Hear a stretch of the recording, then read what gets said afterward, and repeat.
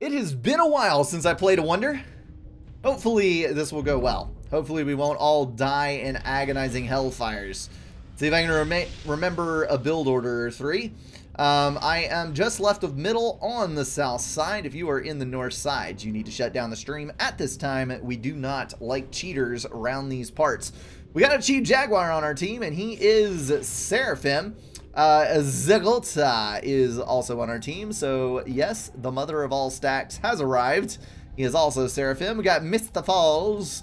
He is UEF as well as Permutation, and in the air slot, Unbalanced with the Seraphim faction. So he's going to have double RAS. Awesome for the late game air.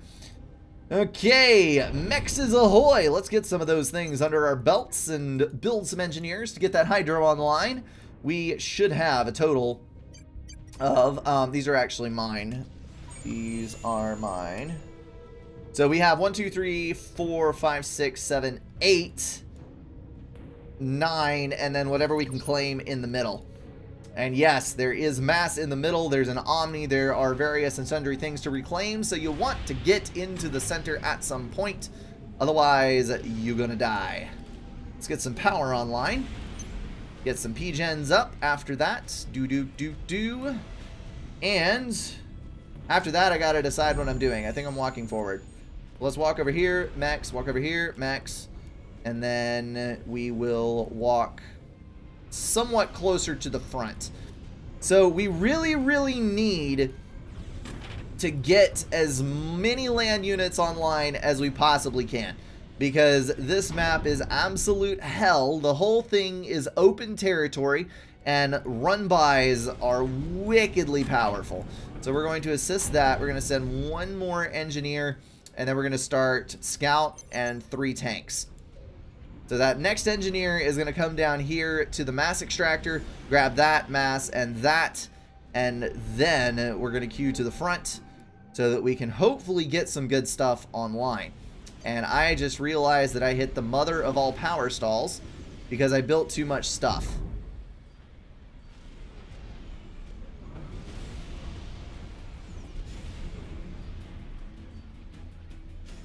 That is a major gaffe. I started building my next mass extractor before the hydro finished. And if you do that, you don't have enough storage. I did not realize that it would start building so quickly.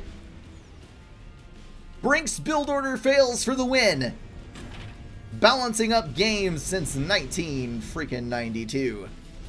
All right, we need to get that, get the mass, get over there. There should be, yep, big boulder. Let's grab him. And then are there other things? We're going to go snatch some stuff if our engineer does not die.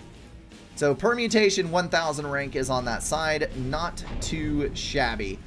Um, you need to queue over here. We got a tank and a scout to cover this side, and my ACU is going to be over on this side of the gap. So I think all my base is going to be covered reasonably well, and we just need to get, uh, let's see, we've got plenty of power up. Let's start building our land factory spam. So we're going to do four land factories around this Mex, which is going to be the first Mex that I T2. There are some threatening units over there, but nothing too bad. You are going to build only engineers, which are going to come and reclaim all of this crap. What are you doing?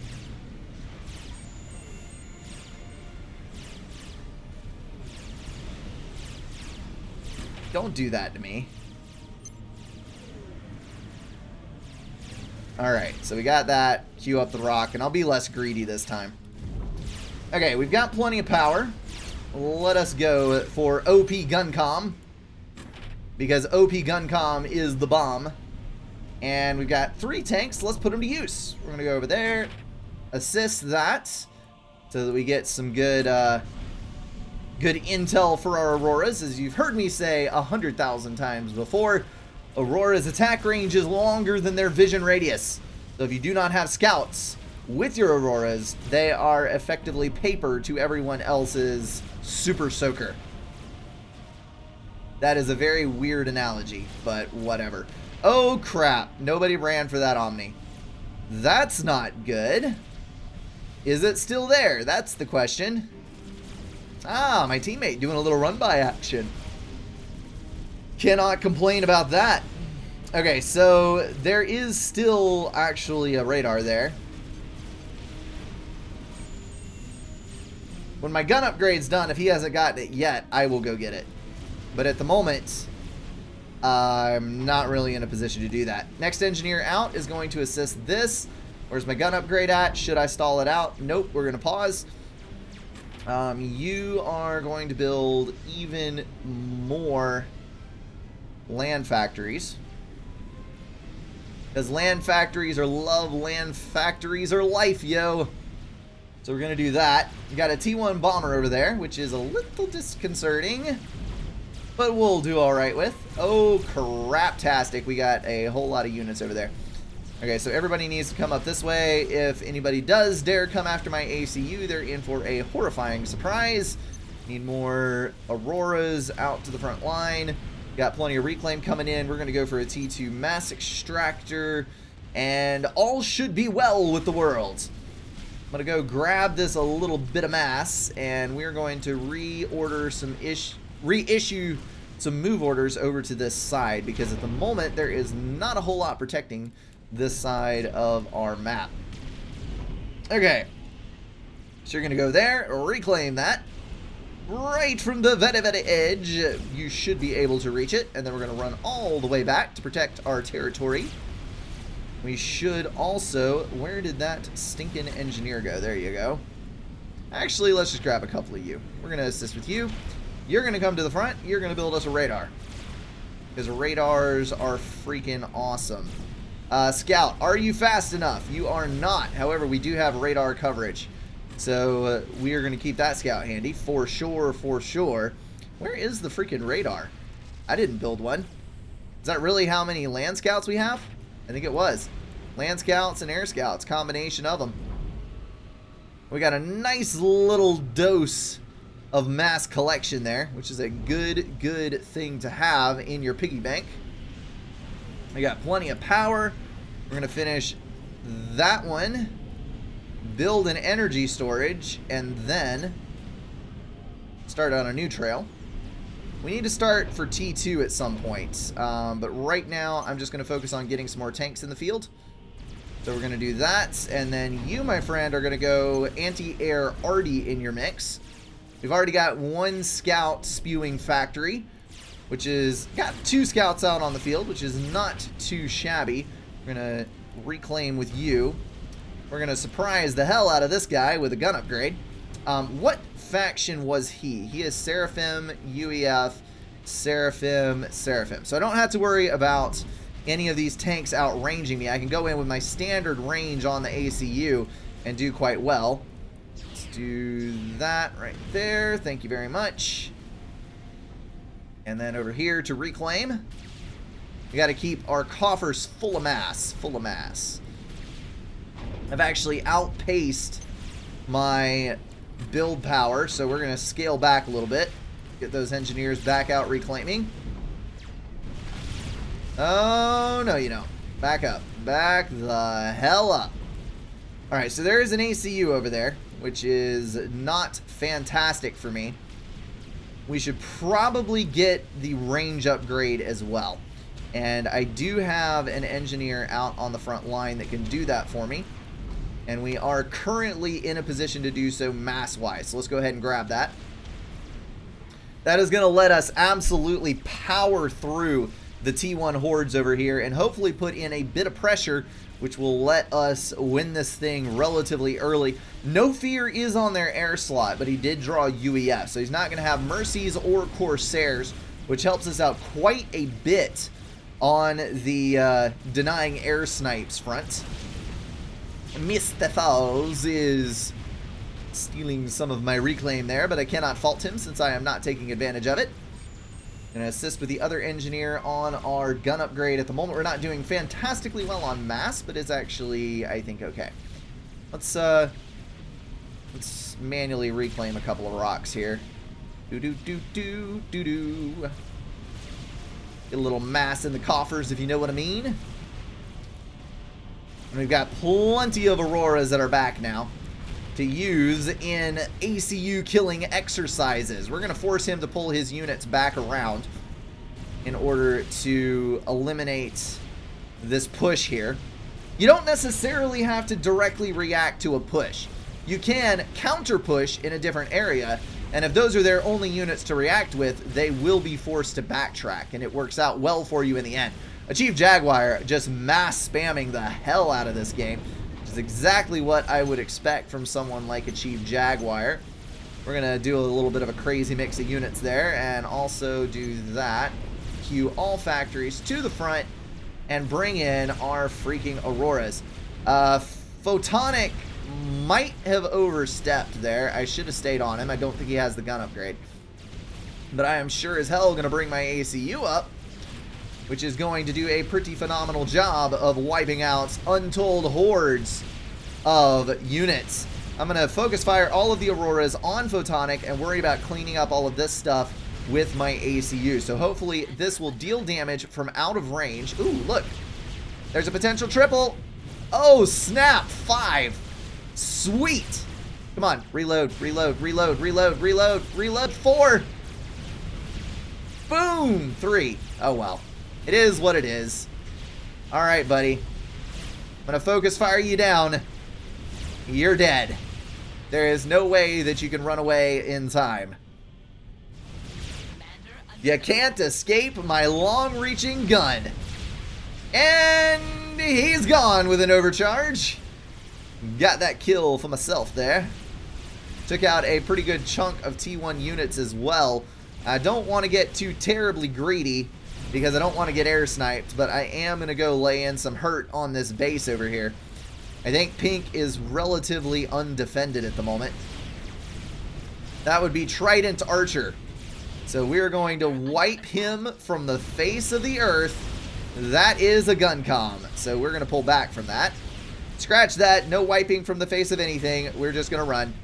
We're going to focus fire the ACU because at the moment it looks like he is intent on suiciding me to take me out. So we're going to try to put some tanks in between him and us, trip up the pathfinding to get out of range. He's at 7 and we're at 5, so he is actually within the range where he could nuke me. Uh, we're going to take everything we've got and put them in between us. 5,741.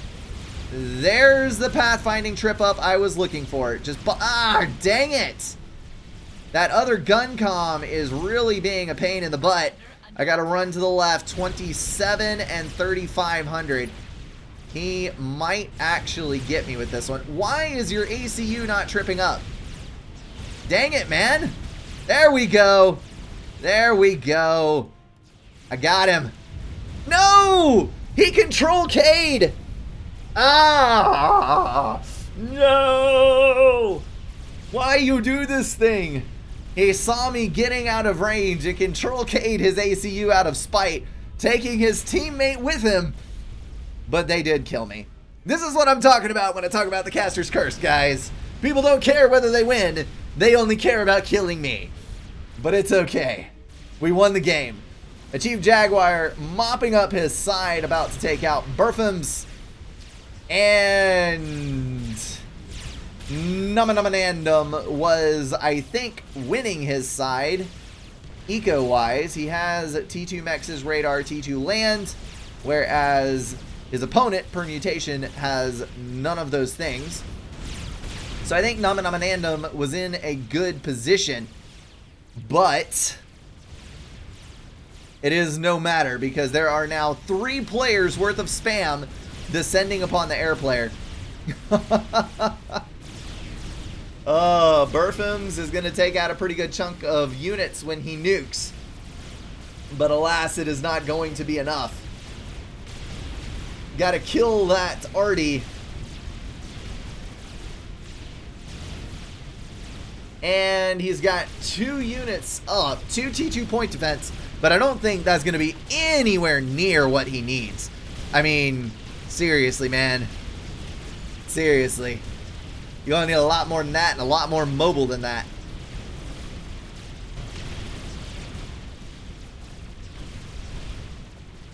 Alright. Just waiting for them all to die. Waiting for them all to die. Numanumanandum taking heavy damage here. But you can see he does have the Ilshavohs up, and he does have superior economy. So he would sacrifice half the health on his commander for the sake of killing off the T1 spam and then sweep the side with T2 once he got it up in a strong position. So he actually played this game out really, really well. It's just that all of his teammates utterly and completely failed to keep back their opponents. Achieve Jaguar getting super brave here for only having a gun upgrade. He is in range of five freaking triads and only has 1100 health. He's doing a pretty dang good job of dodging, which is good. But, ah, there we go. Okay, so the point defense is now refocused on all of the units. The gunships could introduce a bit of a problem, though. If they actually manage to kill Jaguar, they might pull this back from the brink, but here comes the air. Interceptors to save the day from Unbalanced, and that is going to, I think, call it. They've got no units that can come up and hit these point defense at this time. Nobody on my side is T2. Oh, nope. Yellow just finished a T2 factory. Oh, nope. He's had the T2 factory and has T2 tanks on the front line. Brink knows not of what he speaks. The Chief Jaguar has no T2. There's no T2 over here. And there is only a T2 air factory over here, but he is moving to T3 air. So I guess you could say that T2 land is on the way. Oh, that's just nasty right there. That's just nasty. One missile and he's mid-upgrade. One freaking missile. Come on, assist it to load, assist it to load. You need it quicker. You could kill him. And now you can't. I suppose he wasn't loaded at all. If he would have built one and assisted it and then fired it instead of building the second one, he probably would have killed him. So interesting point of fact, if you build one TAC missile too far in front of the other one, it won't kill a UEF commander in, with two TAC missiles. Each TAC missile does 6,000 damage, and if there is one game tick in between the TAC missiles, one half of one second, the ACU will regen enough health to survive the second TAC missile which is at some points bullcrap when you think, oh, I've got this. He can't lay a finger on me. And uh, you try to attack him to death, but then he just survives it and comes back and kills you. I've actually had that happen before. The uh, the tac missile was my cheese victory condition, and it did not work. It did not work at all. Also, when someone's standing that close to a power generator, tac missile them because the area of effect on the explosion from the TAC missile will damage them. The area of effect will kill the power generator, which will also damage them. So that was kind of a missed opportunity there. But uh, No Fear is going to fight to the bitter end, it appears. Oh, Nama finally bit off more than he could chew. Permutation is in with the gun upgrade. That is going to be it for Noms. He had all those Ilshavohs, but he sent them to the back to try to help out with the flood of units on this side and ended up dying for it. No Fear running out to embrace his oblivion. Burfam's dancing around the edge of death trying to stay alive, but I don't think that he is long for this world, unfortunately. 1500 health surviving the nuke. Cleared out all the units around him, but a whole lot of good it's going to do. He's built himself four P-gens and an energy storage in order to be able to overcharge, so he's going to try to stay alive as long as possible. In the end, however, it is all for naught, because he is going to die deader than a doornail. Chief Jaguar decided that just one more upgrade. One more upgrade, man. I gotta have that one more before I go and kill him. And he's not even gonna land a shot. Nope. Yep, he died before the overcharge hit. oh, Chief Jaguar's upgrade made him too late to the party. He, he just had to have that HP. Just had to have the extra HP. Oh, well, we've all made a mistake like that. Alrighty, guys, you know the drill. Let me reset a couple of things, pick a different map. I'll be right back.